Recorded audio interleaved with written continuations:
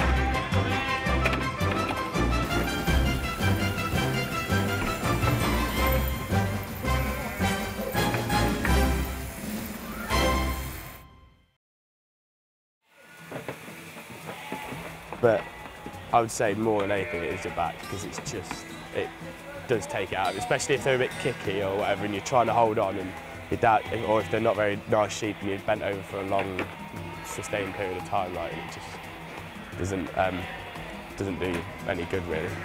But so it's just one of those things you've got to take with a job.